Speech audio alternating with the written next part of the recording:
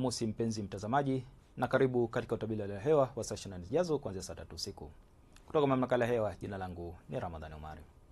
Mifumo anga bado inaendelea kuonyesha viashiria vya mvua katika maeneo mbalimbali hapa nchini kama inavyoonekana katika lamani yetu, ingawa ongezeko kidogo la mvua linatarajiwa hususan katika maeneo nyanda ya juu kusini magharibi kuelekea kusini mwa nchi yetu na mamlaka ya hewa inaendelea kutoa angalizo la vipindi vifupi vya mvua kubwa katika maeneo machache ya mikoa ya Songwe, Mbeya, Iringa, Njombe, Lindi, Mtwara, Morogoro pamoja na Ruvuma. Hivyo ni vema kwa wananchi kuendelea kuchukua hatua zinazostahiki.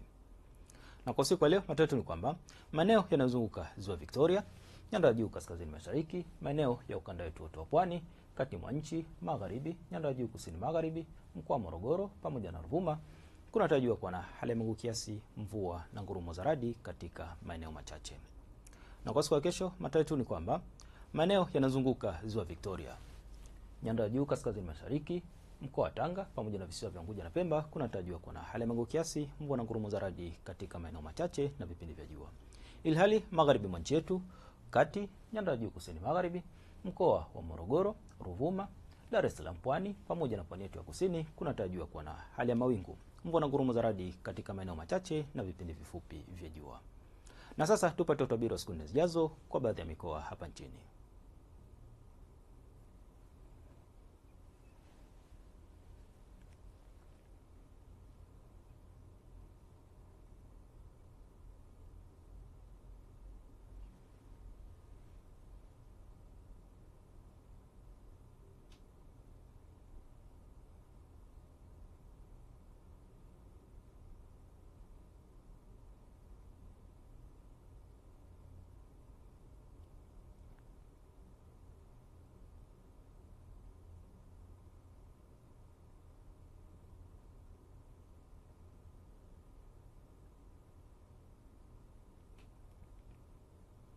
Na mpaka kufia hapo, kutoka mamakala ya hewa tuna ziada. Asante kwa kuwa nami na nikutakie mapumziko mema.